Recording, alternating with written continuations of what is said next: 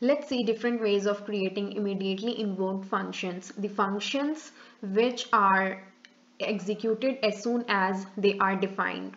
So this is one way of creating immediately invoked functions in which the function is kept inside the parenthesis to specify that this is a function expression and we invoke it using the brackets. So this is immediately invoked function. Let's see the another way.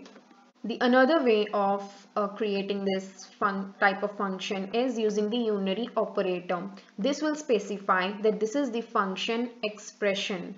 These function are uh, anonymous function because uh, they do not require name as they are executed as soon as they are defined. We are not going to invoke that function again in our code. So we do not need to specify the name of the function and this can uh, can be any unary operator can be plus or something just to specify that this is the function expression. In case we want immediately invoked function to return some value so that we can do something with that value later on in our code. So what we can do is we can assign the return value to a variable like this So here we are assigning the function expression to the variable result and we are invoking it. This is the immediately invoked function and this is returning I am JavaScript.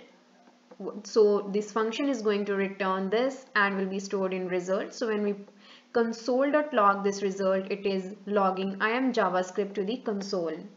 Here we don't need to put any parenthesis or unary operator in front of the function because JavaScript knows that this is the function expression as this statement is not starting with the function keyword.